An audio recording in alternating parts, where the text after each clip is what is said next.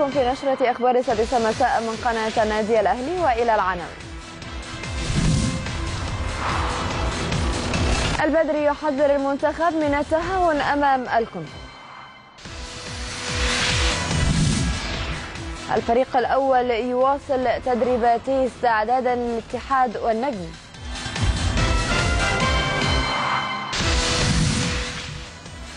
وطرح تذاكر مباراة الأهلي والنجم غدا.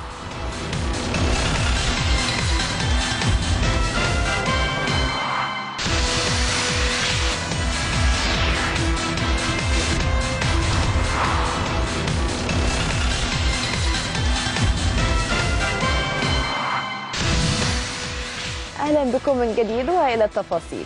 بدأ مسؤولو النادي الأهلي صباح يوم الأحد تلقي طلبات الترشح لانتخابات النادي والمقرر إجراؤها يوم 30 نوفمبر المقبل. لانتخاب مجلس إدارة جديد الدورة لدورة 2017-2021 وفقا لقانون الرياضة الجديد. ويستمر المرشحون في تقديم الأوراق المطلوبة حتى يوم 21 أكتوبر الجاري كآخر موعد لتلقي الطلبات بعدما حدد مجلس الأهلي برئاسة المهندس محمود طاهر هذا الموعد لقبول أوراق الترشح. ويتسلم موظفو الأهلي طلبات الترشح في حضور مندوبي الجهة الإدارية كما تنص اللائحة وتقضي اللائحة الاسترشادية والتي ستقام عليها انتخابات الأهلي بتشكيل مجلس إدارة مكون من رئيس ونائب وأمين صندوق بجانب ست أعضاء فوق السن وثلاث أعضاء تحت السن.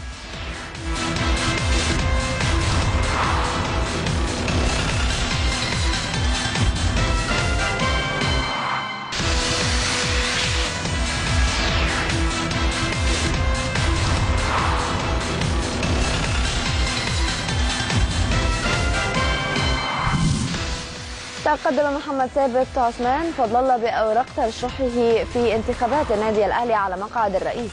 وقام فضل الله بتسجيل اسمه كأول المتقدمين بأوراق ترشحهم للمنافسة على مقعد رئيس النادي.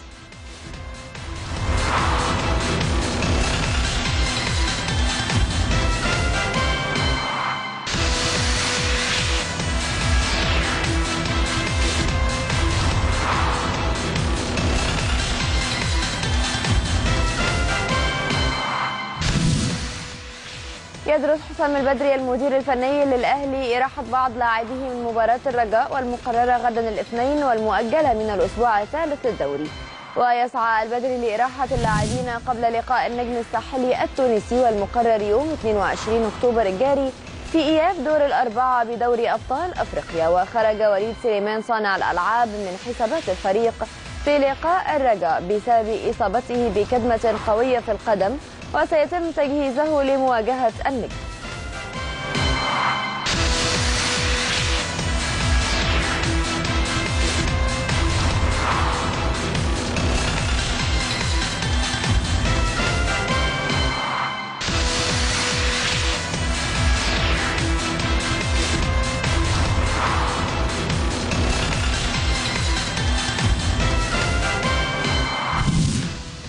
أكد حسام البدري المدير الفني للفريق الأول لكرة القدم بالنادي الأهلي أن ثنائي الفريق عبد الله السعيد ووليد سليمان سيكونوا جاهزين بنسبة كبيرة للمشاركة مع الفريق في مباراة النجم الساحلي الأحد المقبل.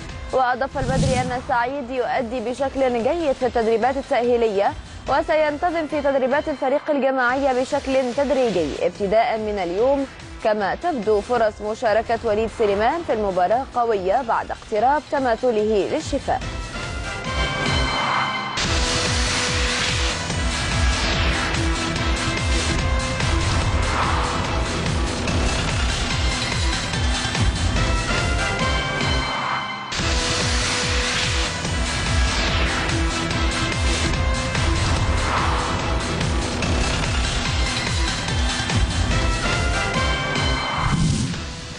اختتم الفريق الأول لكرة القدم بالأهلي استعداداته الجادة لمواجهة الرجاء غدا في المباراة المؤجلة من الأسبوع الثالث للدوري.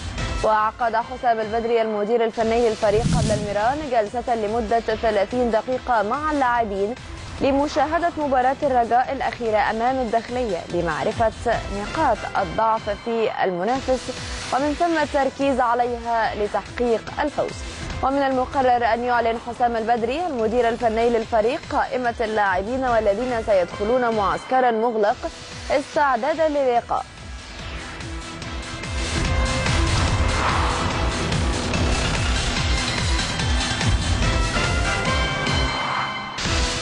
المزيد من التفاصيل حول تدريبات اليوم ينضم إلينا الآن عبر الهاتف الزميل أمير هشام مراسل قناة النادي الأهلي. أمير أهلا بيك. أهلا بيك يا فيروز واهلا بكل مشاهدي قناة الأهلي. أمير احكي لنا عن كواليس تدريبات النهارده. طيب خلينا أبتدي معاكي بس يا فيروز بالقائمه كابتن حسام البدري لسه أعلنها منذ لحظات. بالتحديد يعني قائمه مكونة من حوالي 22 لاعب لمباراه الغد المباراه مؤجلة من الأسبوع الثالث في بطولة الدوري أمام فريق الرجاء القائمه مكونة من شريف إكرامي محمد الشناوي أحمد عادل عبد المنعم علي معلول رامي ربيعة سعد سمير محمد هاني أحمد فتحي حسام عاشور مؤمن زكريا جونيور اجاييه وليد أزارو أحمد حمودي أحمد الشيخ محمد نجيب كريم ندبد أحمد ياسر ريان عمرو عمرو السوليه ميدو جابر حسين السيد صالح جمعة وأكرم توفيق. دي القائمه المكونه من 22 لاعب اللي هيكونوا إن شاء الله متاحين للجهاز الفني خلال مباراة الغد. لكن بالنسبة للمران المران بالتحديد ابتدى في تمام الساعة الخامسه مساء. قبليه كان في محاضرة كده من كابتن حسام البدري بالفيديو عن فريق الرجاء وآخر مباراة ليه أمام فريق الداخلية. وأكيد ركز فيه على نقاط الضعف الخاصة بهذا الفريق عشان يتم إن شاء الله التركيز عليها من خلال لاعبي النادي الأهلي ويقدروا يستغلوها في مباراة الغد.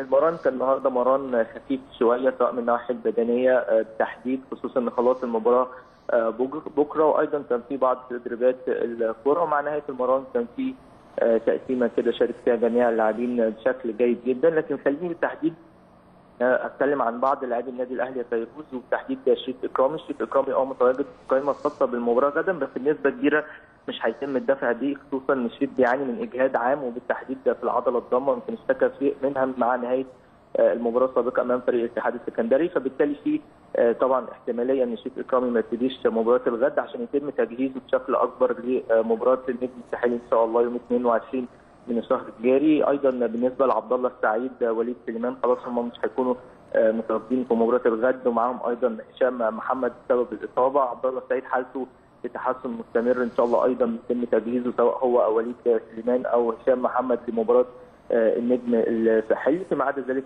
جميع النادي الأهلي بيشاركوا في تدريبات وبيأدوها بشكل قوي جدا. أيضا النهارده مع نهاية المران كان في تدريبات إضافية لوليد أزارو للتسديد على المرمى خصوصا إن إحنا عارفين وليد أزارو بيواجهوا سوء توفيق خلال الفترة السابقة في إحراز الأهداف فتم تخصيص مران لوليد أزارو عقب انتهاء المران الجماعي بالنسبة للنادي الأهلي للتسديد على المرمى ويمكن أدى التدريبات بشكل جيد جدا.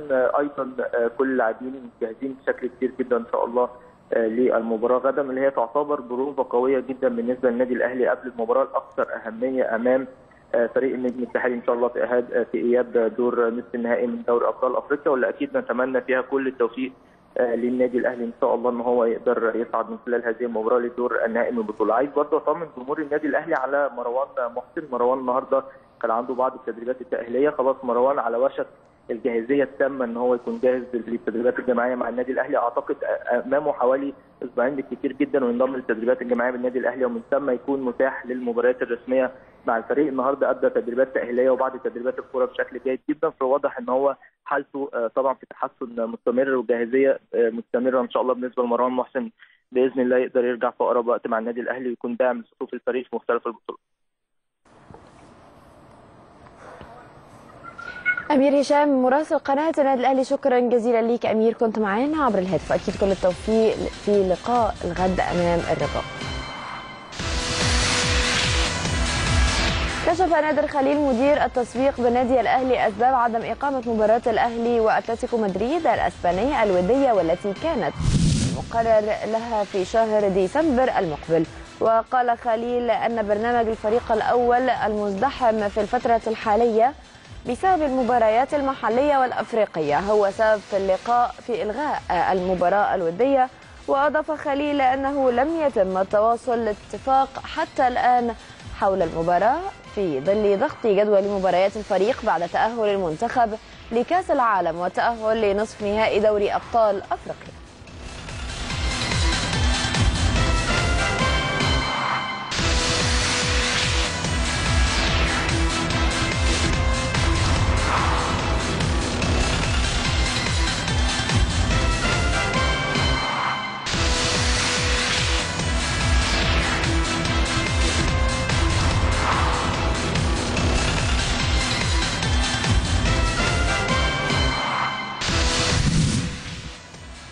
غادر الدكتور عصام سراج الدين المدير التجاري والتعاقدات بنادي الأهلي القاهرة متجها لألمانيا في زيارة تمتد لأسبوع للاطلاع على كل ما هو جديد في ملف التسويق وأحداث وأحدث الأساليب المتبعة لتطوير الأداء المالي للأندية.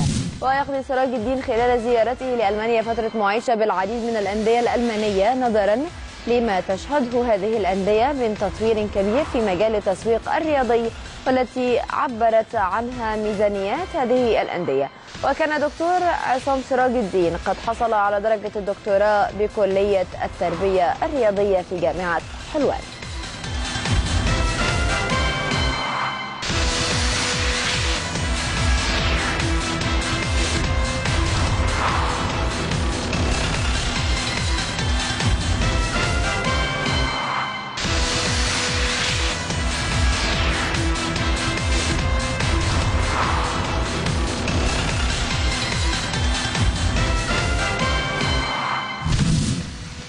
قال شيرين شمس المدير التنفيذي للنادي الأهلي أن تذاكر مباراة النجم الساحلي بإياب نصف النهائي بدوري أبطال أفريقيا.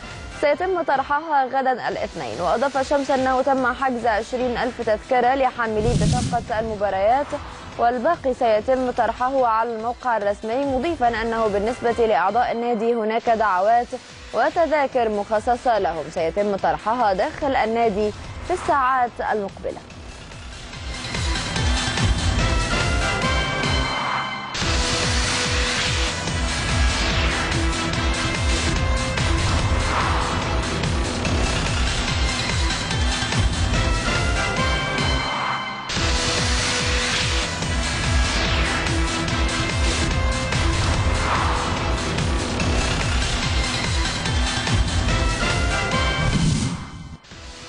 رامي البدوي مدافع الفريق الأول لكرة القدم بنادي النجم الساحلي التونسي إلى تدريبات الفريق بعد تعافيه من الإصابة والتي لحقت به وبدأ اللاعب في الركض حول الملعب حتى يشارك بشكل كامل في التدريبات.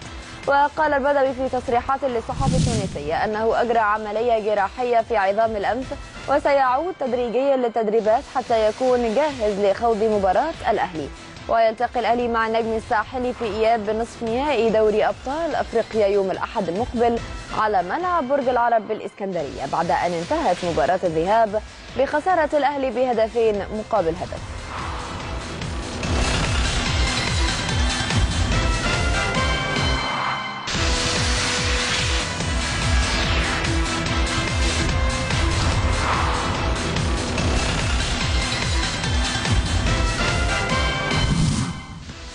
أكد محمد الصفاقسي مدرب حراس المرمى بالفريق الأول لكرة القدم بنادي النجم الساحلي أن الحراس الثلاثة بالفريق جاهزين لمباراة الأهلي المقبلة والتحضيرات تسير بشكل طيب. وقال الصفاقسي في تصريحات لوسائل إعلام تونسية أن الحراس البلبولي والجبالي وأشرف كريم يتدربون على ركلات الترجيح بشكل يومي تحسبا لكل الظروف مؤكدا أن فريقه جاهز للمباراة.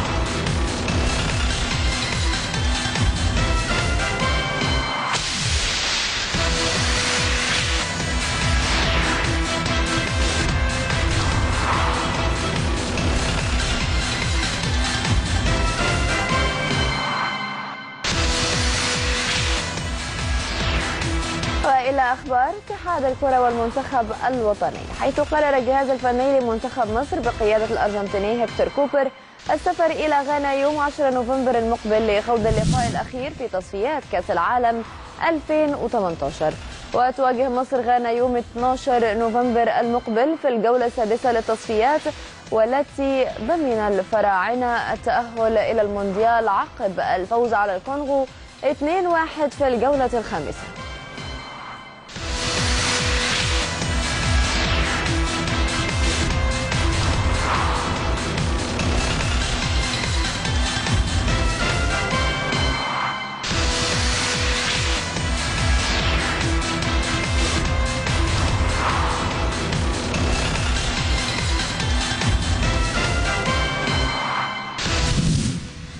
طلب الجهاز الفني للمنتخب الوطني الأول بقيادة هكتور كوبر خوض ثلاث مباريات ودية خلال الثلاثة أشهر الأولى من عام 2018 وقال إيهاب لهيطة مدير المنتخب الوطني في تصريحات نسعى لإقامة مباريات ودية في هذه الفترة حتى يستطيع الجهاز الفني منح الفرصة لبعض اللاعبين. وأضاف مدير المنتخب سندخل معسكرا مغلق في الشهر الأخير قبل كأس العالم وسنخوض عدد من الوديات ولكن سيتحدد أطرافها عقب إجراء قرعة المونديال والمقررة في الأول من ديسمبر المقبل.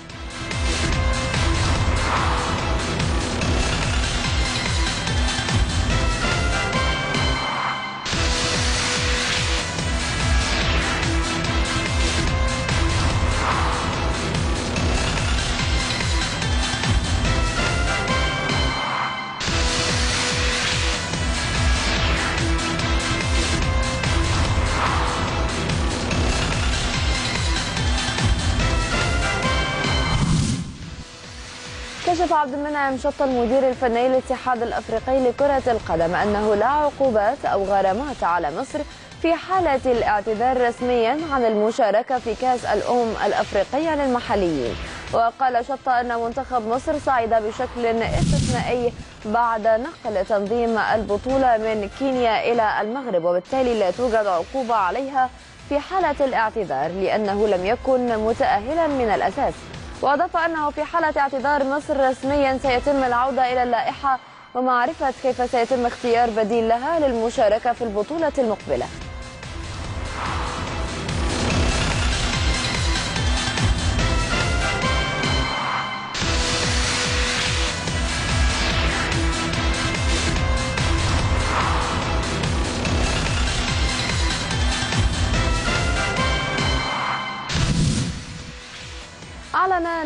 اليوم الأحد اختيار إيهاب جلال لتدريب الفريق البترولي بعد استقالة طارق العشري بسبب تراجع النتائج.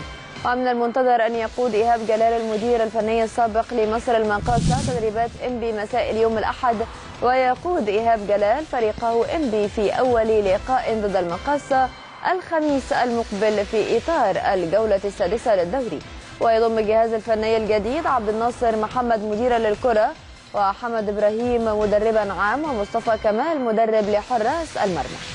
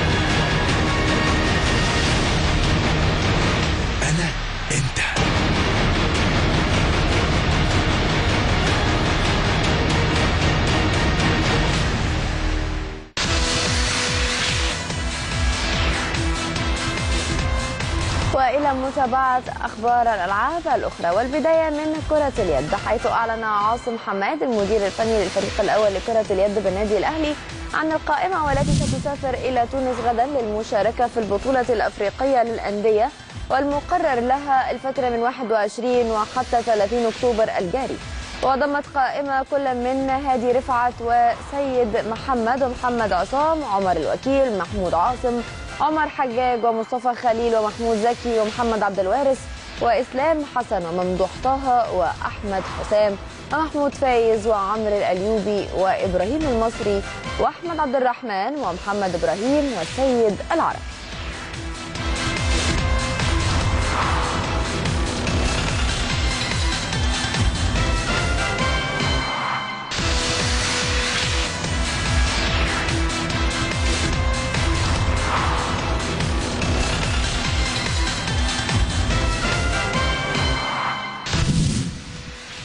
ينظم جهاز التنس بالنادي الأهلي ندوة بعنوان التغذية الرياضية للاعبي التنس يوم الخميس المقبل بقاعة فكري أباظة بمقر النادي بالجزيرة.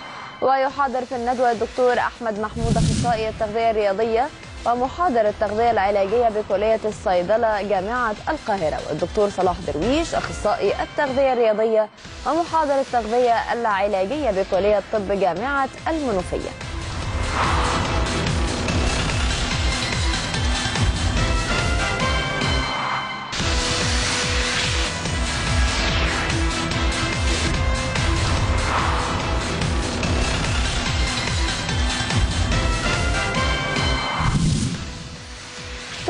الزوجان المصريان علي فرج ونور الطيب بلقب بطولة أمريكا المفتوحة للسكواش لفئتي الرجال والسيدات مساء السبت في فيلادلفيا.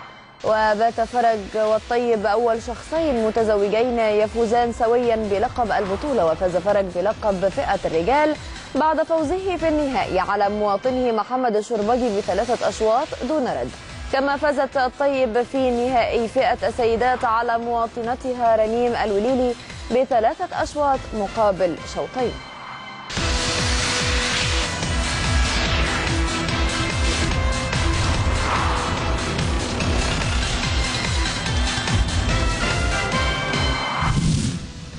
فاصل قصير ونعود إلى جولة في الملاعب العالمية.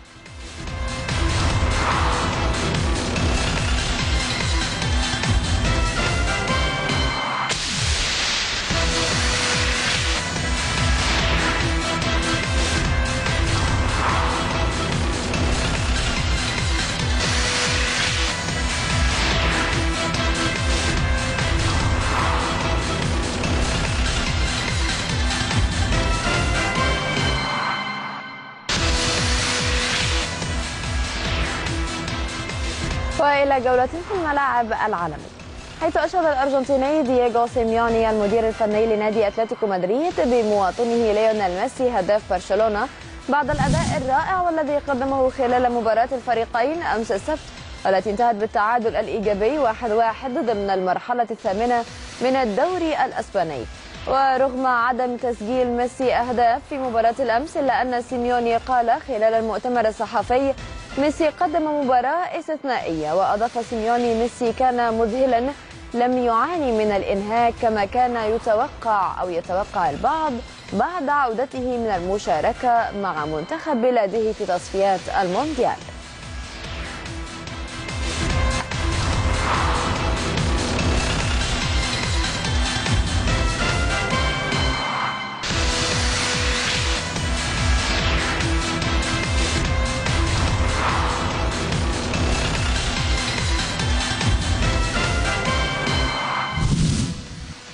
تقارير صحفية أن نادي برشلونة الأسباني يسعى للتعاقد مع الهولندي فيرجيل فان دايك لاعب ساوثهامبتون الإنجليزي لتعزيز خط دفاع الفريق في يناير المقبل. وقالت صحيفة ميرور البريطانية أن نادي برشلونة أرسل عددا من الكشافين لمتابعة فان دايك مع منتخب بلاده في أسبوع التوقف الدولي رغبة في الحصول على خدماته في الانتقالات الشتوية. وأوضحت الصحيفة أن ساوثهامبتون يفضل بيع اللاعب لفريق خارج إنجلترا ولذلك فإنهم لا يمانعون في فتح قنوات اتصال مع النادي الكتالوني بشأن فان دايك.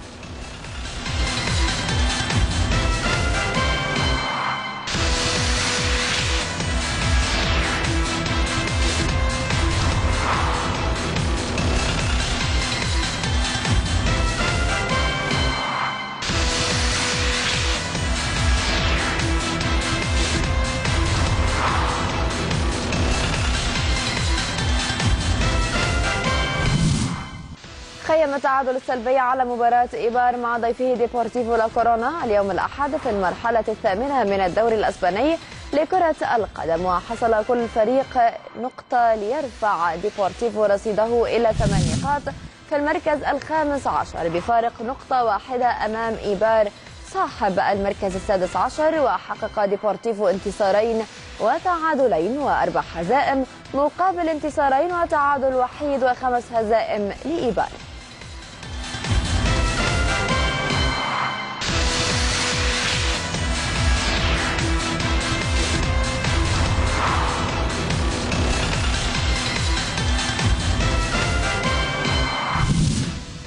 ذكرت تقارير صحفية أن خيمس رودريغيز لاعب بايرن ميونخ الألماني يدرس الانتقال للدوري الأمريكي في الفترة المقبلة. وذكرت صحيفة دون بالون أن رودريغيز والذي انتقل لبايرن على سبيل الإعارة لمدة موسمين من ريال مدريد الأسباني يدرس الانتقال لنادي أورلاندو سيتي أو نيويورك سيتي وأوضحت أن اللاعب الكولومبي انتقل للنادي البافاري نظرا لوجود الإيطالي كارلو أنشيلوتي على رأس القيادة الفنية للفريق. لكن بعد إقالة أنشيلوتي أصبح مستقبله في صفوف البايرن في مهب الريح. وقال دون بالون أن خامس قد ينتقل لأورلاندو كبديل لاعب كاكا صانع ألعاب الفريق.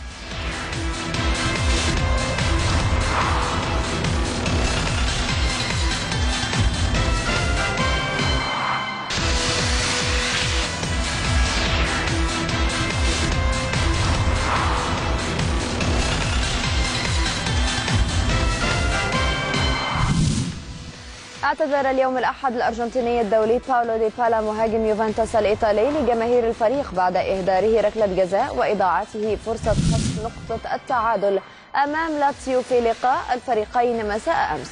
وانتهى لقاء الجولة الثامنة من الدوري الإيطالي بفوز لاتسيو بهدفين لهدف على ملعب يوفنتوس أرينا. وأهدر ديبالا ركلة جزاء في الدقيقة الأخيرة من المباراة. ونشر اللاعب اعتذارا رسميا لجماهير اليوفنتوس عبر حسابه على موقع التواصل الاجتماعي تويتر. قال فيه من الصعب ارتكاب الأخطاء متأسف لكن يجب أن نعود للطريق الصحيح بحماس بداية من يوم الأربعاء.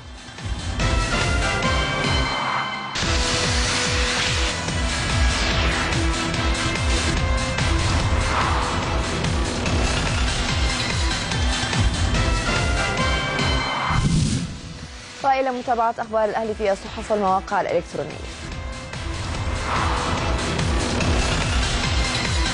والبداية من بوابة الأهرام الأهلي يطرح تذاكر مباراة الأهلي والنجم في البطولة الأفريقية غدا.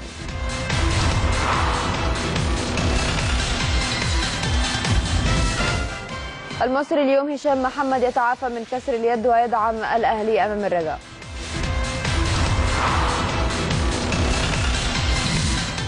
الوفد اليوم الأهلي يختتم استعداداته لمواجهة الرجاء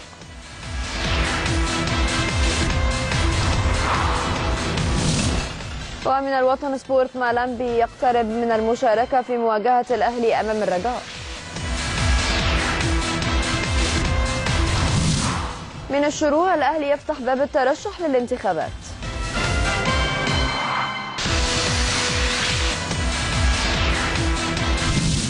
ومن البوابة سبورت إكرامي يشارك في مران الأهلي.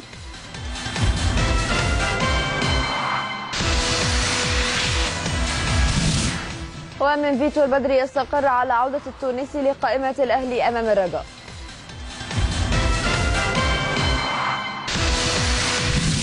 ومن يورو سبورت عربية الأهلي يكشف سبب الاعتذار عن ودية أتلتيكو مدريد.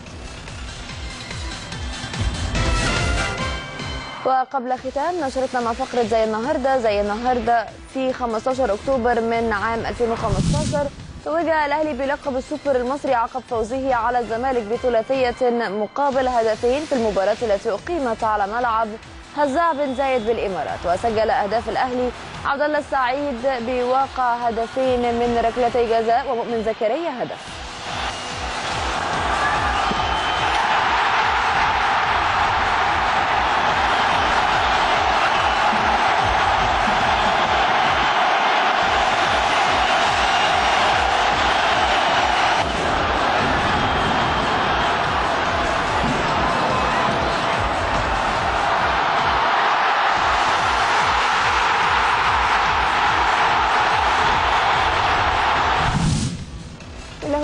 نشرة أخبار السادسة مساء من قناة نادي الأهلي دمتم في أمان الله.